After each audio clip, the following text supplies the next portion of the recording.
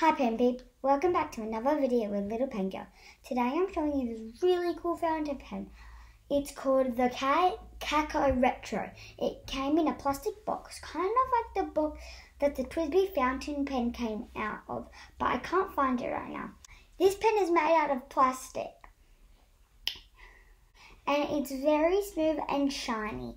This one is a greeny blue turquoise turquoise color, or you can just say tur- turquoise. On the end of the cap, it has a little orange ball. I don't think it really blends with the colors. I think it would blend a bit more if it was like a purple or a pink, or because I think it would blend more with like the turquoise color. The cap pops off, and this is another different kind of nib. It's called a hooded nib. You can hardly see the actual nib, but trust me, it's in there.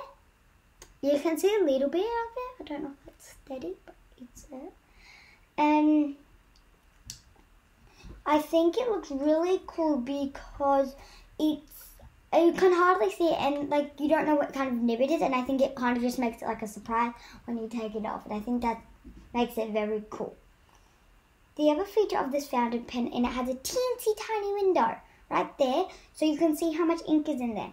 If you look really closely you can see there is no ink in here. So we're going to be filling that up but we'll do that later in the video. This is a cartridge converter pen. As you can see, there is a little cartridge converter. And the ink bottle is Lamy turquoise. It has a tissue it's actually called blotting paper. So what you do, instead of having the towel instead that we usually use, we can use these blotting paper to wipe down the nib. And that's what we are going to be doing in this video. Now I'm going to ink it. And now this one is kind of hard and scary to do because like, you know, you don't want to wipe it, but we do have the blotting paper, so that's good. We're putting it down, we're going to push it back up. And we got quite a bit today, so that's good. Instead of wiping it down like we would usually, we're going to grab a piece of the blotting paper. Put that up first. Grab a piece of the blotting paper. I'm gonna grab the pen and I'm gonna, I think you just wipe it down. And it doesn't work that well, as you can see. So I'm gonna get my towel and just wipe it down like that. And people that made this um, ink, I'm sorry, but your your paper towels don't work that well. I was screwing the lid on.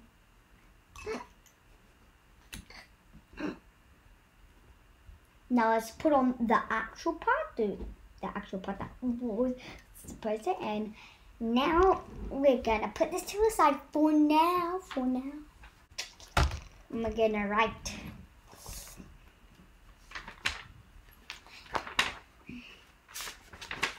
Now we're gonna write.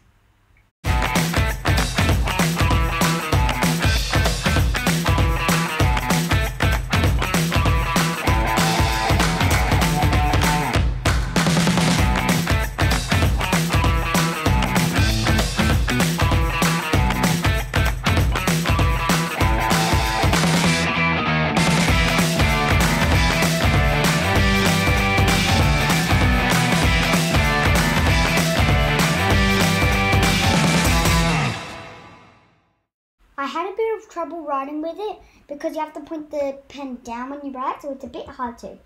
But now, instead of an ink swatch that I usually do, I'm going to do an ink splat.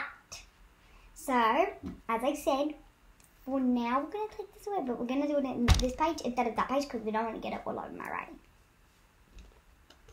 We're just going to move the paper over so you can see very prettily. I'm using a pipette to do it and I'm gonna put that ink and you can always put well, I'm gonna put about four or three in the on the page and it's gonna be an ink splat. Ooh, it did go a little bit wrong but that's okay because that's it looking really cool. There you go. That's an ink splat called Amazingness.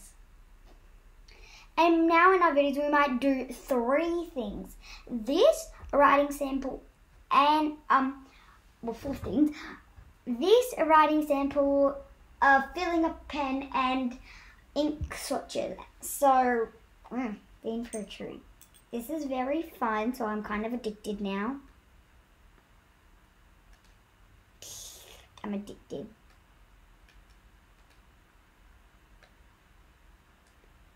Yeah. It's addictive. Now let's just check if we're bleeded because I'm scared that. I'm going to be very careful.